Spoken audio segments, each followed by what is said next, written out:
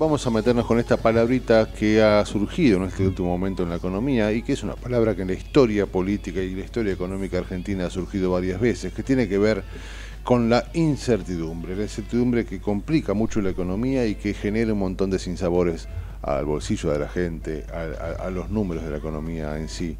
Y, para eso nada mejor que con, conectarnos, siempre tratamos de ir a quien más sabe de nosotros o, o quien lo tiene más clara para podernos que nos puede echar un poquito de luz sobre este tema, ¿no? Estamos hablando ahora y estamos conectados con el economista Aldo Abraham. Aldo, ¿cómo te va? Es un placer saludarte en la mañana. Raúl que ese es mi nombre. ¿Cómo estás? Muy bien, un gusto estar charlando con ustedes. Buen día. ¿eh? Buen día, viejo. Vos sabés que, nada, empezaba yo hablando de la palabrita, esta incertidumbre, que le sumo también la falta de confianza. Un gobierno que, que no da en la tecla, una inflación, este, bueno, que es consecuencia de muchos excesos de este gobierno algo muy muy difícil de, de sobrellevar y, pensando en el futuro se pone cada vez más oscuro. Digo yo, ¿vos cómo estás viendo este momento argentino? Mira, con mucha preocupación, ¿no? Estamos, la verdad, viviendo momentos pre-hiperinflacionarios, ¿no? O sea, el inicio de una hiperinflación. Que es cierto que con las medidas que se han tomado han logrado ganar tiempo, esto que se ha hecho y que hemos visto en una baja de los tipos de cambio, lo único que hizo fue ganar tiempo, pero no se ven todavía medidas que sean más contundentes como para este, estabilizar un poco el de todo esto que vos eh, mencionabas, ¿no? que es el fondo de la cuestión, la tremenda pérdida de credibilidad del gobierno, lo cual más su gestión que ha sido pésima hasta ahora este, la enorme incertidumbre que tenemos todos sobre la Argentina, que en definitiva es el justificativo básico de por qué estamos en un periodo hiperinflacionario. El gobierno se ha dedicado a gastar en exceso, parte de ese excesivo gasto lo ha estado financiando con impuesto inflacionario, o sea, con emisión de producción de pesos que la gente no quiere ni necesita, y que eh, se lo da al gobierno para que pueda gastar más, pero es cierto que como cuando vos producís algo más de lo que la gente necesita, baja su precio y acá lo que está pasando es que baja el poder adquisitivo de nuestra moneda. La mala noticia es que claro, la gente en algún momento se cansa de que vos le quites todo el tiempo de sus pesos eh, con impuesto inflacionario parte de lo que tiene. Entonces, ¿qué hace? reduce la cantidad de pesos que tiene, entonces el gobierno le puede sacar menos pesos. Ahora, cuando vos bajás la demanda de algo, también su precio baja. O sea que ahora estamos teniendo una pérdida de poder adquisitivo por partida doble, porque se mm. produce un montón y porque nosotros eh, con nuestro mecanismo defensivo demandamos cada vez menos. Pero esa baja de precios del poder adquisitivo de nuestra moneda, donde primero se ve es en los mercados cambiar, y eso pasa con todas las monedas, ¿no? Del mundo se ven siempre reflejadas sus variaciones en los mercados cambiarios y acá la gente tiene clarísimo que cuando, cosa que no entienden la mayoría de los economistas, por otro lado, ¿no? Pero que cuando sube el dólar, los dólares paralelos, los pesos que tienen en el bolsillo se están, están perdiendo valor y imagínate, se asusta, ¿no es cierto? Y dice, bueno, quiero ahora tener muchos menos pesos, con lo cual obviamente nuevamente se lo saca de encima, cae el poder adquisitivo más todavía del peso y entonces eso hace subir mucho más el dólar y ese círculo vicioso es el que estamos viviendo ahora, que si se espiraliza es lo que se llama hiperinflación, ¿no? Cuando la gente se arte y dice, bueno, ahora ya no quiero más más pesos, ¿no? Y entonces cuando vos querés ir a comprar algo con esa moneda que pierde, pero muchísimo poder adquisitivo, cada vez tenés que llevar más pesos, hasta que un día empezás a llevar una carretilla de peso para comprar un kilo de pan, ¿no? Vos sabés que te escuchaba y, bueno, dabas, este, de alguna manera relatabas lo que ya hemos vivido, ¿no? Yo tengo más de 50 años y hemos vivido esta situación y la verdad que este, solo el recuerdo de lo que, que ha quedado en este país después de la hiperinflación asusta. Y, nombraste y dijiste la palabrita de hiperinflación dos o tres veces. Digo, la posibilidad de una, creo que sería la cuarta, creo que sería la cuarta hiperinflación en la historia, eh, ¿para vos es, es, es, factible?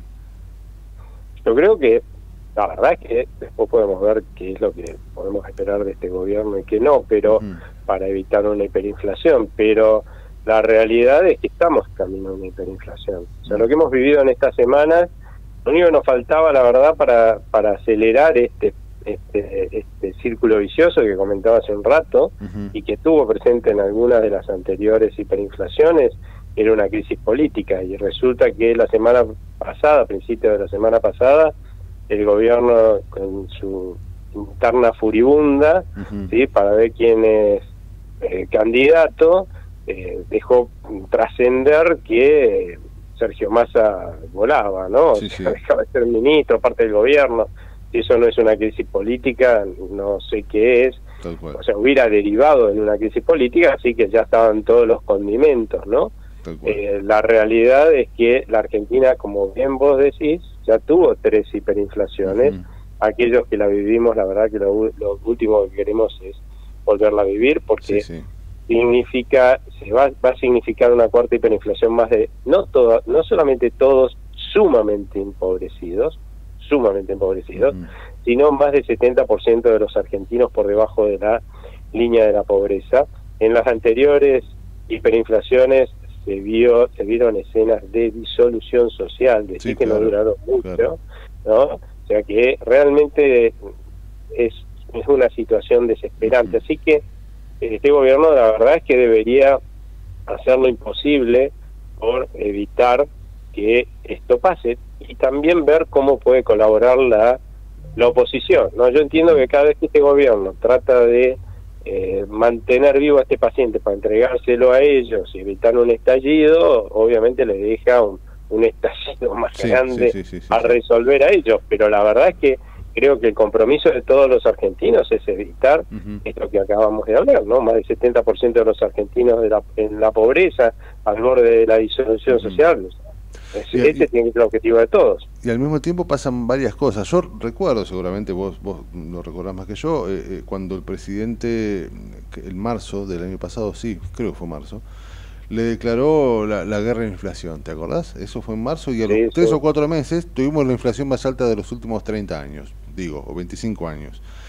al mismo tiempo, hoy se plantean medidas que lo que me parece a mí, y ahí viene la pregunta, eh, son medidas que de alguna forma lo que hacen es alargar la mecha y no más que eso, ¿no?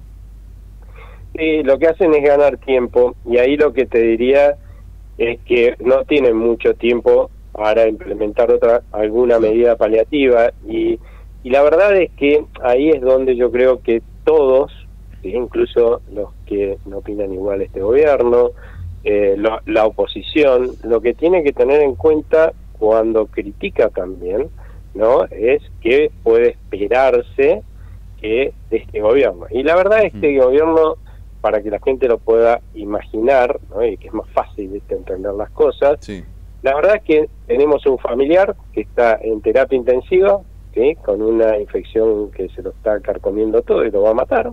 Esa es la verdad que esa es nuestra economía. Y el equipo médico que atiende en esta terapia intensiva no tiene la menor idea de cuál es el diagnóstico, o sea, tiene el diagnóstico errado y por tanto sería un milagro que le acierte con el tratamiento. Y esa es la situación que vivimos los argentinos en este momento. ¿Qué es lo entonces lo más que vos podés esperar de este equipo médico? Que evite que se muera hasta que llegue el próximo equipo médico que los familiares vamos a elegir eh, y que va a asumir el 10 de diciembre, ¿no? Así que tengamos en cuenta esto y elijamos bien, si no se nos va a morir en el próximo, en el próximo equipo médico, el paciente si logra llegar hasta allá, ¿no? Hasta el 10 de diciembre. Y, y claramente las medidas que van a tomar, eh, nos guste o no a todos, van a ser malas, con suerte con suerte no lo van a empeorar demasiado, no lo van a matar al paciente, pero con suerte, o sea, lo, le van a permitir con un que la inflación sea por ahí, eh, incluso por ahí con, sea más galopante todavía, pero le van a permitir de alguna forma llegar al 10 de diciembre, vivo.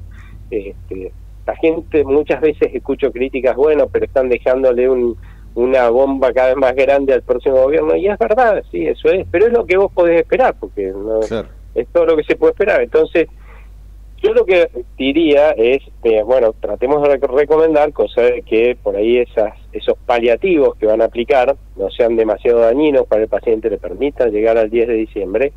Y el, el equipo, los equipos médicos que se están preparando, equipos que quieren asumir como presidentes, ministros de Economía, lo que sea, este, el día de diciembre, por favor, tengan en cuenta que tienen que llegar con el diagnóstico adecuado, yo creo que es así porque estamos trabajando con los distintos equipos económicos de los principales candidatos a presidente de la oposición, este, el tratamiento adecuado, más o menos todos tienen el tratamiento adecuado, pero después tienen que tener no solamente la capacidad, sino la audacia de aplicar inmediatamente el tratamiento, porque lo van a recibir y se le muere. ¿eh? O sea que eh, estás diciendo, eso es lo que estás diciendo muy, muy concretamente que no hay lugar para el gradualismo, digo. No hay lugar para esperar, porque mm, las medidas que uno pueda tomar, sí, a ver, los economistas somos incapaces, algunos economistas eh, parece que hablamos cuando nos escuchan dicen estos son magos, ¿no? La verdad es mentira, no se puede hacer magia en economía, eso también lo hacen los políticos, no, no hay magia en economía. O sea, resolver los problemas de la Argentina no se van a resolver de un día para el otro, va a llevar dos, por ahí tres años resolver por lo menos lo más urgente, y lo que sí es importante es que sea el inicio del tratamiento, que va a llevar, como dije, dos o tres años, sea inmediato, que es lo que no pasó en el gobierno de Cambiemos, porque ellos tenían el diagnóstico adecuado, tenían el tratamiento adecuado, pero dijeron, bueno, el paciente puede esperar, y claro, se le murió, si no, no, le, no, lo, no lo curas, la infección sigue avanzando y te lo mata, ¿no? Entonces, eso es lo que no puede pasar. Ahí entran a jugar, viste, Aldo, las cuestiones políticas, ¿no? Porque eh, lo que le pasó al gobierno anterior tiene que ver con eso. Puedo esperar porque si yo planteo todo esto, se me vienen los sindicatos encima y se me viene este el peronismo también encima y hay que ver cómo lo manejo. Y bueno, esperemos un poco, nace el, gradualismo, vemos si esto lo podemos llevar. Y aquel equipo que fue presentado en su momento como el mejor equipo de los últimos 50 años fracasó.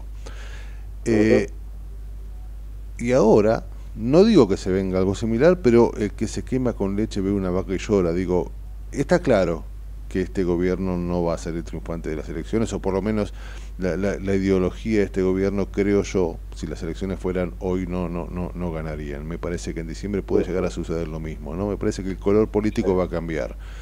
Y va a cambiar para este color político que en su momento fracasó. Digo, ¿vos qué le recomendarías? Eh, esto es inmediato, llegan y bisturí, ¿no? Y bisturí, porque, a ver, una cosa que es una realidad, nosotros, eh, la Fundación Libertad y Progreso, y vamos con nuestros proyectos, porque nosotros ya durante los últimos 12 años que tiene de vida la, fundación, la verdad es que le elaboramos un plan de gestión, ya lo teníamos en aquel momento, cuando fue electo eh, Cambiemos, y teníamos buena relación y los íbamos a ver. En esa época existía este temor que vos decías, bueno, ustedes nos decían que quieren que nos vayamos en el, helicóptero, ¿no? Que aplicamos lo que...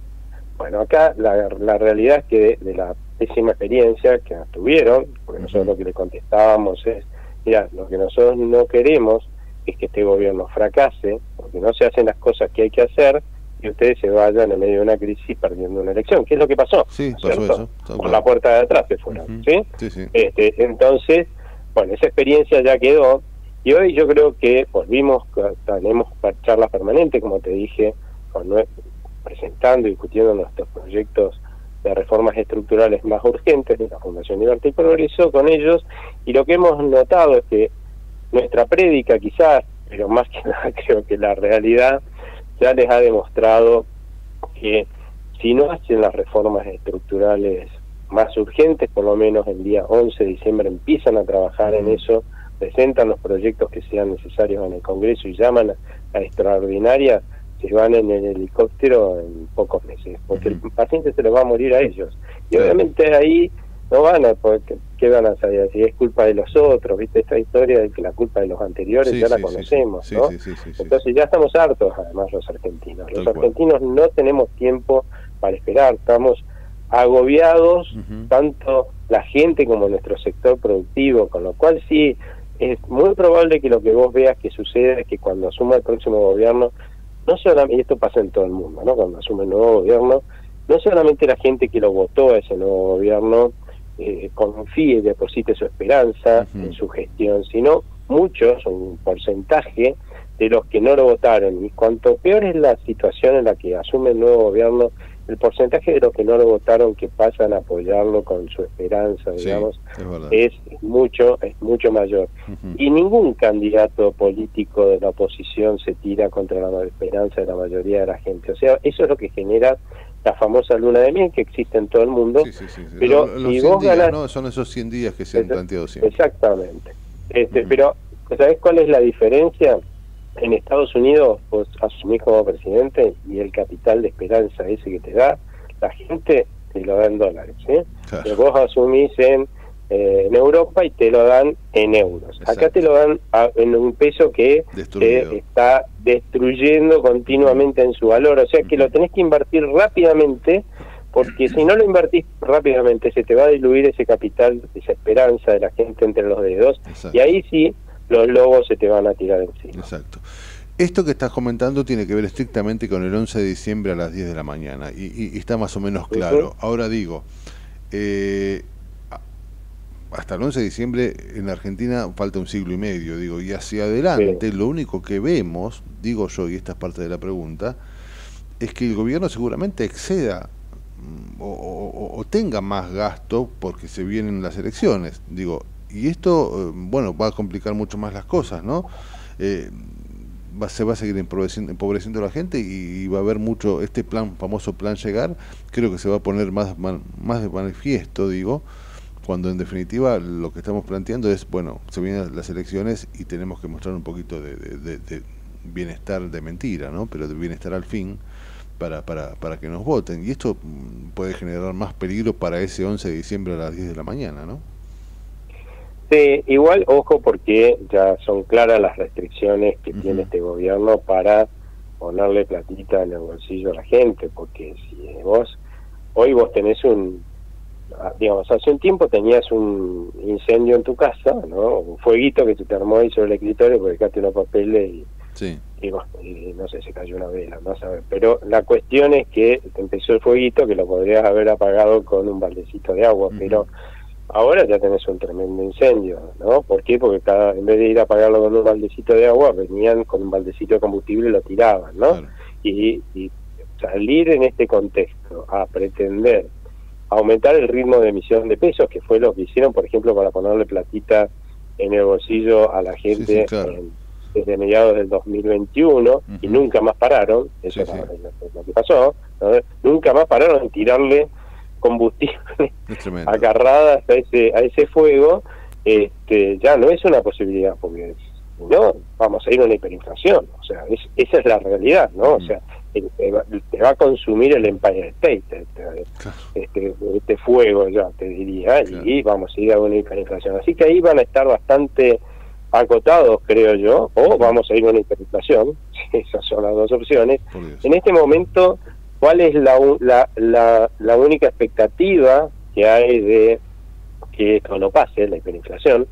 La verdad es que lleguen a un acuerdo nuevamente con el Fondo Monetario Internacional que implique una renegociación de las condiciones y que le den más plata fresca. La verdad es que el Fondo Monetario Internacional le viene sacando las papas del fuego a este gobierno, a más no poder, por eso me hace mucha, pero mucha gracia y demuestra su ignorancia a la vicepresidente cuando dice que el culpable es el Fondo ah, Monetario. Porque si no le hubieran dado los organismos internacionales más de 6 mil millones de dólares el año pasado netos, por arriba de lo que nos, regal, nos, casi nos regalaron. Sí, sí, sí. Mil millones de dólares que se los despilfarraron. Esta crisis la hubiéramos tenido el año pasado. y la hiperinflación la hubiéramos tenido el año pasado. Entonces, ¿y qué van a hacer? La verdad es que hoy el Fondo Monetario Internacional, con el despilfarro que hemos hecho de la plata que ya nos dieron, estamos hablando, ellos son los más de 4 mil millones de dólares, mucha plata, ¿sí? La verdad es que podrían decirnos, bueno, podrían ser infiernos, ¿no? Pero no, van a volver a darnos plata. Esa es la realidad. Lo cual demuestra que la vicepresidente no tiene ni idea de lo que habla, hace rato ya, ¿no? Pero no tiene ni idea de lo que habla en este tema. Y nos van a volver a dar plata con alguna condición, espero yo, que sea algo así como, bueno, ya se la despilfarraron a la anterior, ahora lo vamos a controlar más de cerca para que no se despilfarre en esta y quede en el Banco Central como para realmente evitar una hiperinflación, ¿no es cierto? Esta debilidad este, y no que se la despilfarren para las elecciones. Eso yo creo que es lo que podemos esperar hacia adelante. Si el gobierno no acepta este tipo de condiciones porque se quiere despilfarrar esas plata que nos van a mandar, en realidad para salvarnos de una hiperinflación, y bueno, iremos a una hiperinflación. Yo creo que eh, eh, muchos adentro del gobierno entienden que una hiperinflación no es la mejor forma de llegar a una elección y ganar. Absolutamente, no es la mejor consejera, eso, eso, eso es muy claro. Vos sabés que te escucho y parte de la próxima pregunta que te quería hacer, este, la respuesta es medio lo que venimos hablando hasta ahora, ¿no? Pero en algún punto uno se pone a pensar, y, bueno, también tiene que ver con esto que, que, dice la vicepresidenta, ¿no? que le encanta criticar al fondo con un discurso casi setentista y eh, fuera de onda y fuera de moda, pero no deja de ser también jueguito para la tribuna, ¿no? porque hay gente que, que entiende que, es así. Pero al mismo tiempo, digo, eh, hablando de las culpas y las excusas, ¿no? Eh, uno puede comprender la sequía, uno puede comprender eh, las consecuencias de la invasión Rusia a, Ucrania, uno puede comprender este, un montón de cuestiones que, que, lastiman a las economías regionales, pero enseguida salís y los países de la región tienen la inflación que nosotros tenemos en un mes, ellos la tienen en un año. Digo, ¿cuál es la excusa? ¿Y por qué sucede esto? ¿Y, ¿Qué es? ¿Qué, ¿Qué, somos? ¿Qué nos pasa? Digo, que no nos damos cuenta de eso, de eso tampoco, ¿no? Porque la gente no necesariamente es experta en economía, sigue la economía internacional, entonces lamentablemente es muy fácil engañarla, ¿no? Porque mm. cuento que acá nos venden que la inflación este, se está subiendo en todo el mundo y no es verdad, estuvo subiendo en todo el mundo hasta más o menos mediados del año pasado y en todo el mundo ya está bajando la inflación. De hecho, ya hace meses, pero muchos meses, que viene bajando el precio de los alimentos. Bajando el precio, no lo que varía, ¿no? Y acá estamos teniendo aumentos de precios de los alimentos y bebidas en la Argentina por mes, que son los últimos meses de 8% para arriba, y afuera están bajando. Entonces, que todas estas excusas, la verdad, es que no tienen ningún sentido, ¿no? Porque los países de la región también los afectó la sequía. Y afuera también, y en esos países la inflación también está bajando, ¿sí? Bajando y ya está en un dígito la mayoría de ellos y son más bajos que lo que como bien vos dijiste, que la inflación que nosotros tuvimos, ellos tienen en un año, han tenido en un año, la inflación que nosotros hemos tenido solamente o menos, ¿no? Solamente en el mes de, de marzo. O sea que claramente desde el gobierno porque yo al principio trataba de excusarlo con ignorancia, ¿no? Pero, y puede ser que haya ignorancia, pero ya a esta altura ya es tratar de patear la pelota para afuera. Sí, absolutamente.